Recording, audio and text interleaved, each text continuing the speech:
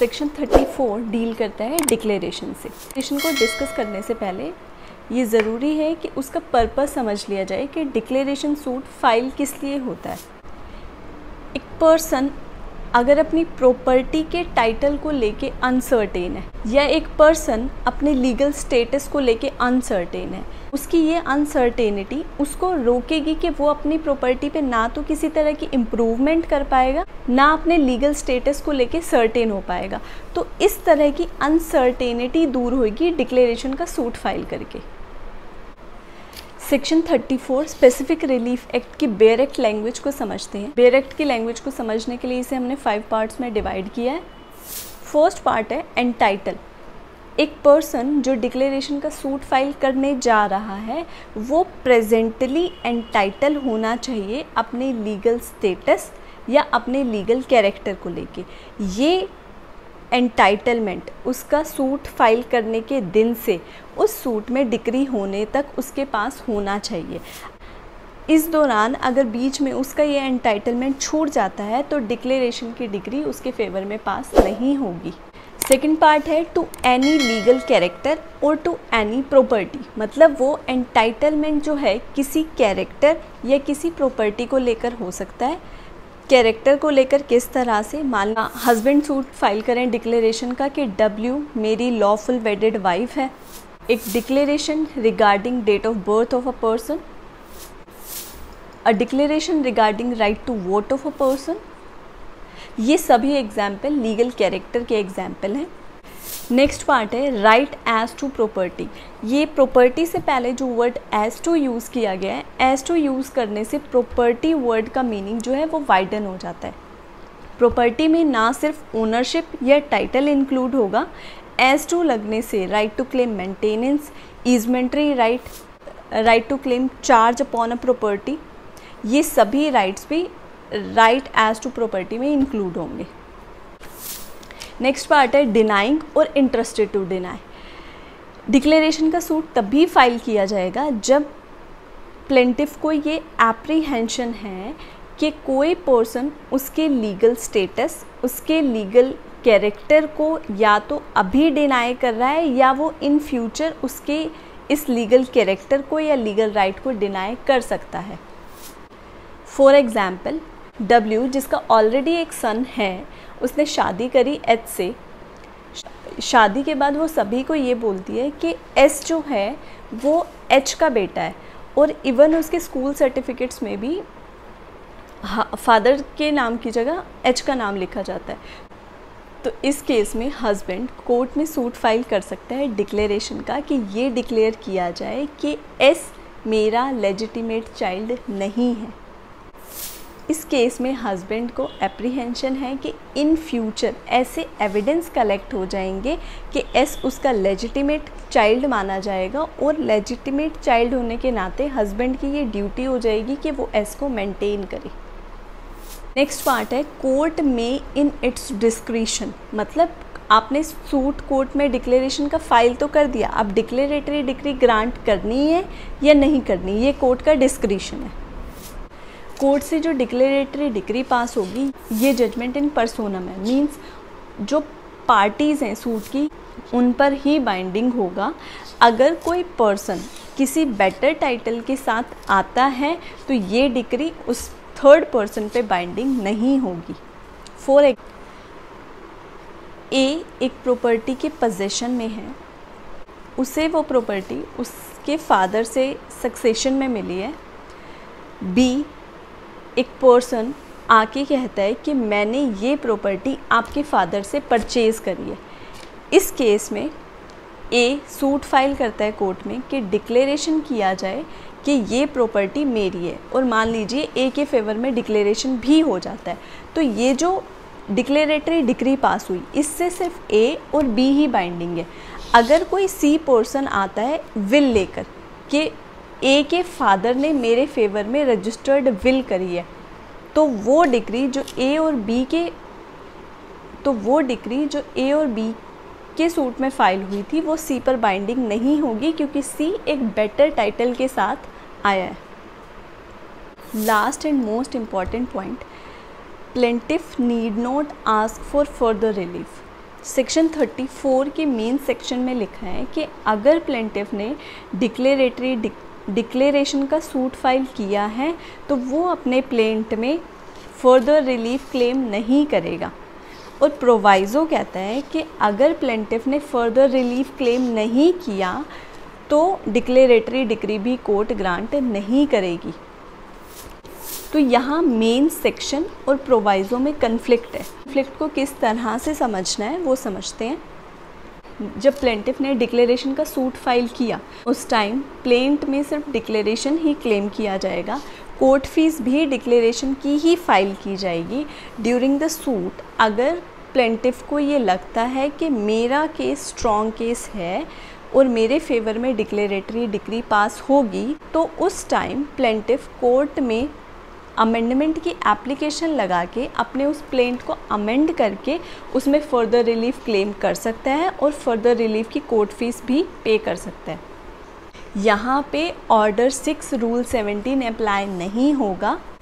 मतलब प्लेंटिव किसी भी स्टेज पर जहाँ उसे लगे कि मेरा केस स्ट्रॉन्ग है और मेरे फेवर में डिक्लेरेटरी डिग्री आने के पूरे पूरे चांसेस हैं तो कोर्ट अमेंडमेंट की एप्लीकेशन को अलाउ करेगी और इस टाइम प्लेंटिव अपनी प्लेंट में फर्दर रिलीफ क्लेम करेगा। अगर इस time plaintiff further relief claim नहीं करता तो डिफेंडेंट ऑब्जेक्शन रेज करेगा कि प्लेंटिफ ने फर्दर रिलीफ क्लेम नहीं किया है तो फर्दर रिलीफ क्लेम ना करने की वजह से प्लेंटिफ का डिक्लेरेशन का सूट भी डिसमिस हो जाएगा। यहाँ डिफेंडेंट को ज़रूरी क्यों है कि वो ऑब्जेक्शन रेज करे?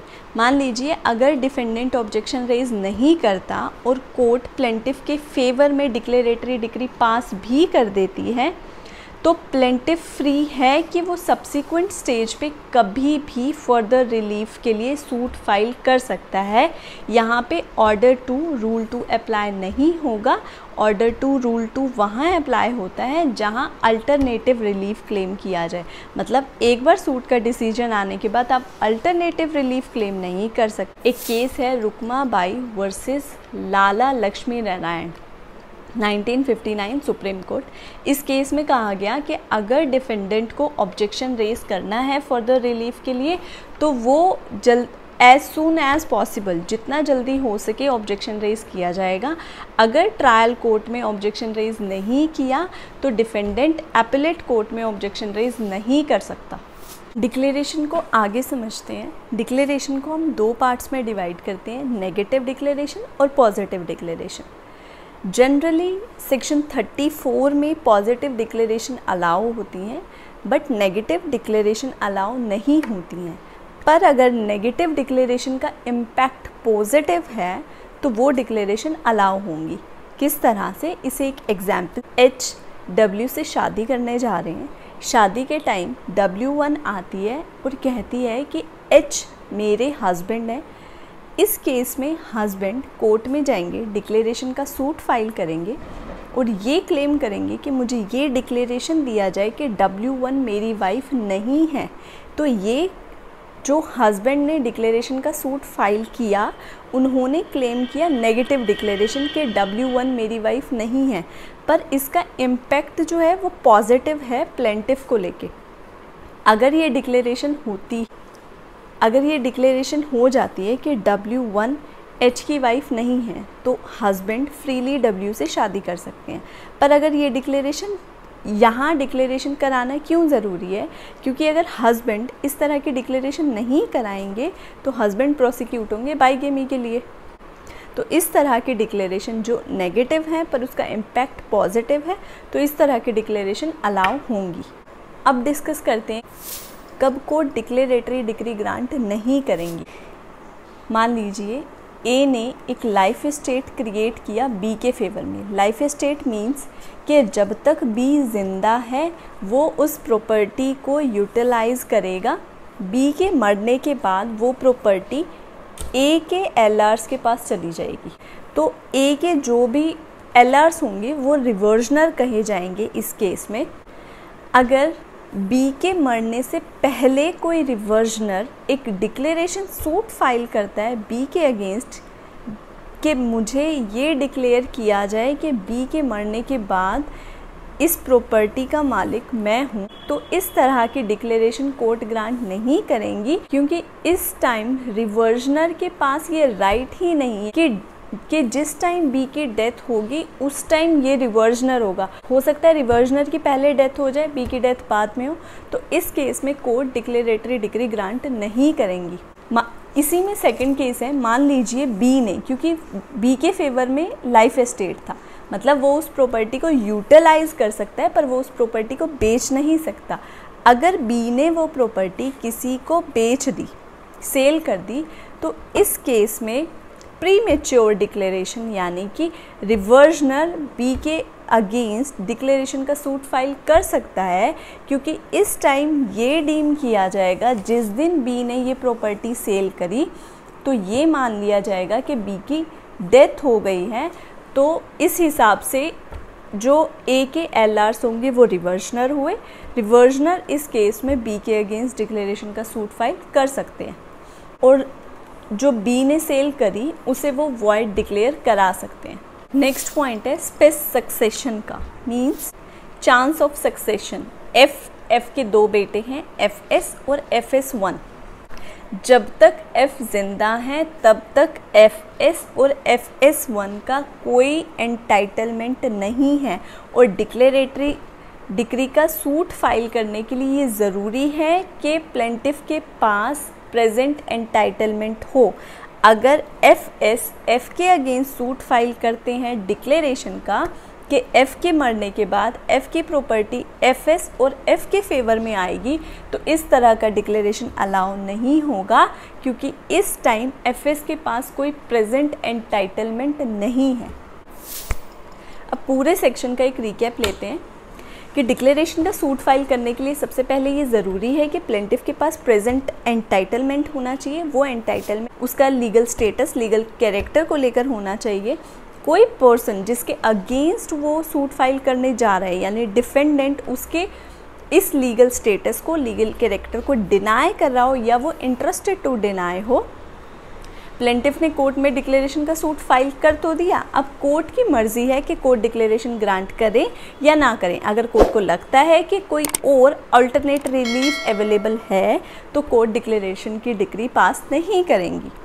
नेक्स्ट पॉइंट आता है फर्दर रिलीफ। मेन सेक्शन कहता है कि प्लेंटिफ अपने प्लेंट में फर्दर रिलीफ क्लेम नहीं करेगा। प्रोवाइजो कहता है कि अगर फर्दर रिलीफ क्लेम नहीं किया तो कोर्ट डिक्लेरेटरी डिग्री भी ग्रांट नहीं करेगी। इस केस में क्या है? जब प्लेंटिफ जब प्लेंटिव प्लेंट फ़ाइल करेगा, उस टाइम सिर्फ़ डिक्लेरेशन ही क्लेम किया जाएगा। पर ड्यूरिंग द ट्रायल अगर प्लेंटिव को लगता है कि मेरा केस स्ट्रॉन्ग है, मैं जीतूँगा, मेरे फेवर में डिक्लेरेटरी डिग्री आएगी तो उस टाइम वो अपने प्लेंट को अमेंड करके उसमें फर्दर रिलीफ का कॉलम भी ऐड कर सकता है।